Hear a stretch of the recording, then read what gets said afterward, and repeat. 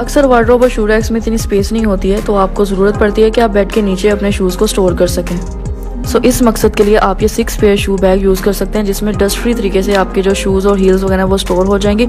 इसमें मिट्टी का एक ज़रा भी नहीं जाता लाइक साल भी अगर आपके शूज़ इसमें पड़े रहे ना तो वो नीट एंड क्लीन फ्रेश तरीके से पड़े रहेंगे। इसमें सिक्स कस्टमर्स ये हम आपके लिए लाए हैं 110 जीएसएम में बहुत ही उम्दा क्वालिटी में स्टोरेज बैग्स की नई वैरायटी इसके अंदर हमारे पास ब्लैक अवेलेबल है ग्रे कलर अवेलेबल है और लाइट ब्राउन कलर अवेलेबल है। इसके सामने एक ट्रांसपेरेंट शीट यूज़ की गई है ताकि आप अपनी डेली वार्डरोब यूटिलिटीज को इजीली मैनेज कर सकें। Double zip open and close है। बहुत ही फाइन क्वालिटी की जिप यूज़ की गई है।